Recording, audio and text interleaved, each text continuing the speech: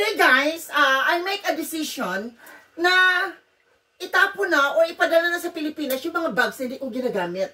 Kasi ang dami-dami nila, yung favorite ko lang naman ang ginagamit ko. So I think it's about time para ipamigay sa Pilipinas yung mga bags ko. Kaya tara, let's go!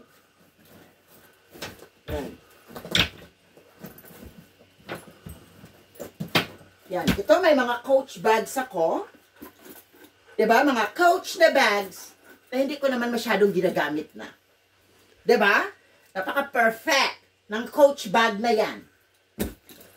May mga MK bag ako na hindi ko rin siya masyadong ginagamit. These are all real, authentic na mga bags. This is MK.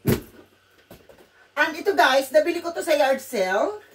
According to doon sa binilhan ko, this is really expensive, no? Pero hindi ko naman siya ginagamit. So what's the use? Nakatambak lang siya, hindi ko naman ginagamit. Ayan, this is another coach bag. Ow. Ayan, coach bag siya. Which is really nice coach bag. Diba? Ang dami-dami ko mga bags dito na coach.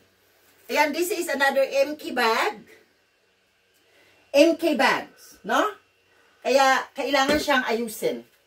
So, lahat ng mga ito, kailangan kong i-arrange, kailangan kong ayusin, kailangan kong ipadala sa Pilipinas kasi kailangan. Ba? Yan, mayroon ako dito. Yan, mga, mga ano, mga coach yan. Ito malaki to, favorite ko to kasi malaki. Alam niyo na ako mahilig sa malalaki, no? And this is another coach.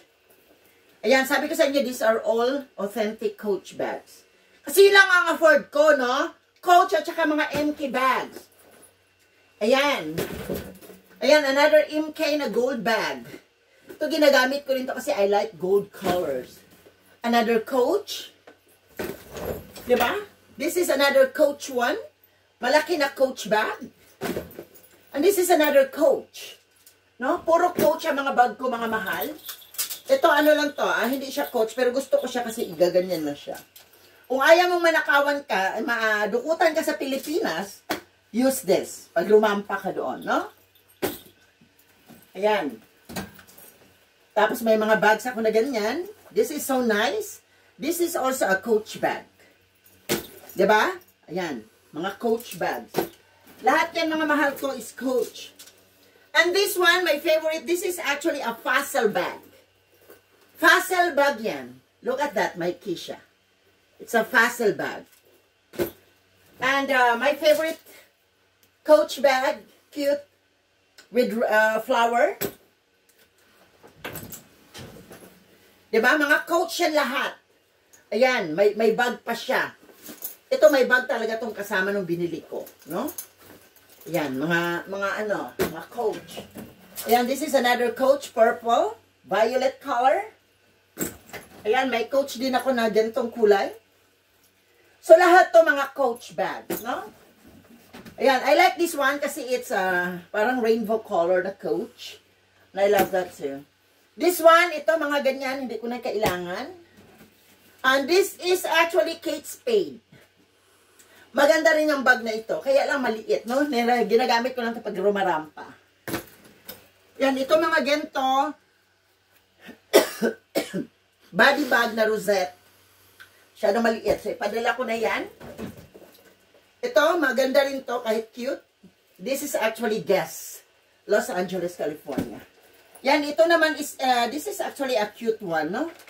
Cute to. Pwede mo siya lagyan ng mga bagay na gusto mong ayaw lumamig agad or ayaw uminit agad. Guys, this one, this is actually a pure leather. Sabi ng owner nito, mahal daw to, kaya lang hindi ko naman alam, no?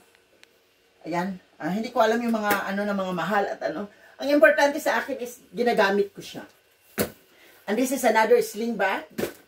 And this is another Kate Spade bag.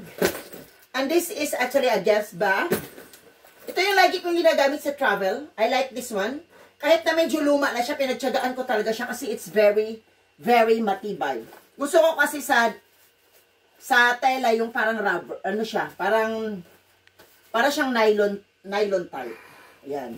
And ito naman, ginagamit ko ito pag uh, Independence Day. Ayan. And I have an LV bag na kemit-kemit lang. Ba? Pang tapon ko na yan. No? Ito naman, mga pag-eksena ko lang. And this is a gift for me. Bigay sa akin to my birthday. Ba?